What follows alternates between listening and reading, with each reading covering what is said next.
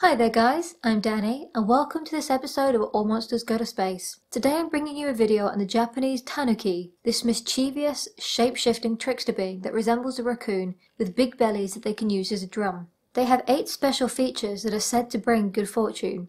A friendly smile, their bellies symbolizing their bold and calm decisiveness, a hat or a leaf that protects against bad weather and troubles, big eyes for being able to see and make good decisions, a strong and steadfast tail that brings success, a promissory note showing trust and confidence, a virtuous sake bottle, and one of their most well-known traits, a very prominent scrotum, symbolizing wealth and financial luck. They're depicted through art, manga, statues, and literature, as being mischievous but happy, but quite often lazy, absent-minded, guided by food and gullible. Their main habitat is the forest and the mountains, but they have been known to come down into the towns and cities, and they're also linked to the kitsunes. But unlike fox spirits, they don't wish to harm humans, just trick them into making a fool of themselves and being embarrassed, or conning them out of a few coins or wares, and sometimes passing off leaves as currency, only for it to turn back after they have disappeared. They used to have a bigger role governing nature, but as deities such as Buddha came into belief, they got relegated to lesser deities.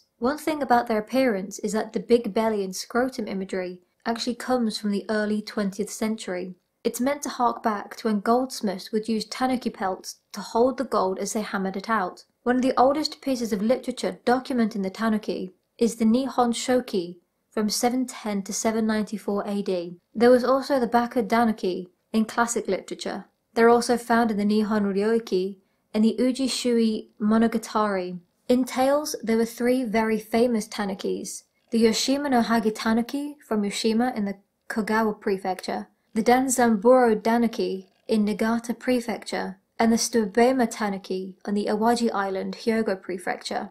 Now onto the other tanukis that can be found throughout Japan.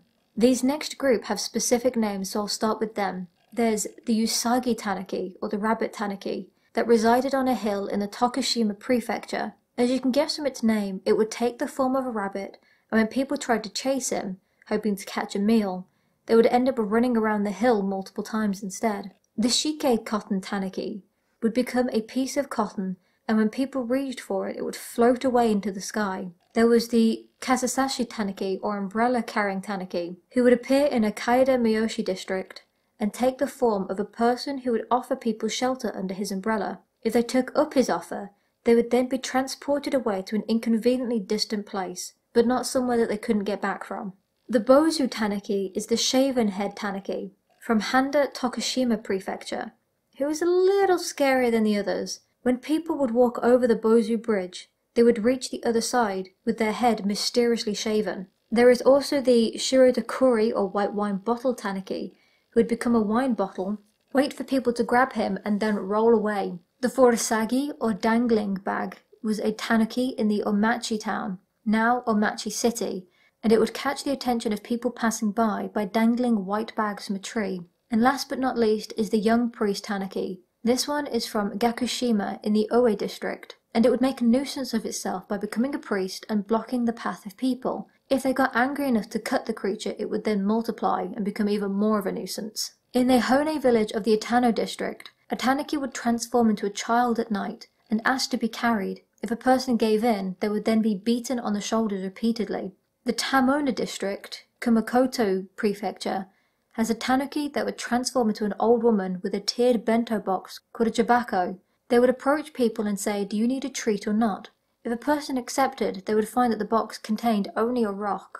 In Tokyo, back in 1603 and 1868, also known as the Edo period, the sound of a drum could be mysteriously heard in the middle of the night, and it was said to be the tanuki's drum.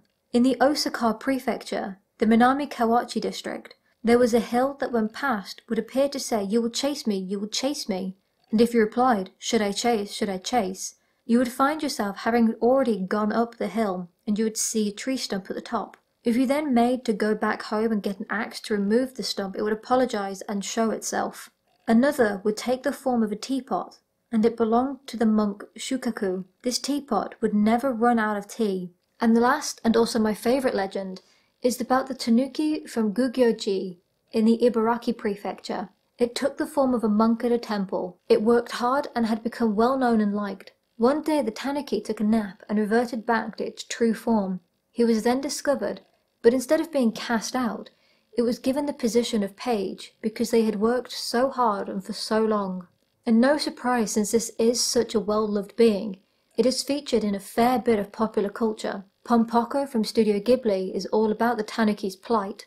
Tom Nook in Animal Crossing is one. Other games with the tanuki featuring in it are Empires and Puzzles, Sonic Racing, Shadow Tactics, Blades of the Shogun, Danganronpa 2 Goodbye Despair, and the most famous one I think people will know is that Mario himself has a tanuki suit. Tony Chopper from One Piece is also meant to be one of these beings. There's one in Inuyasha and Naruto. And if you have ever watched Zootopia, one of the newsreaders happens to be a tanuki. Also, if you do travel to Japan, almost anywhere that you look around, especially in front of shop fronts, you will see a tanuki statue because much like the Maneki Neko, they're meant to encourage people to come inside the store and to spend their money. Well, that's it for this video. I hope you enjoyed it. If you did, please leave a like, subscribe and click the notification bell. Thank you for watching and I'll see you in the next video in the comment section and on Twitter. Bye!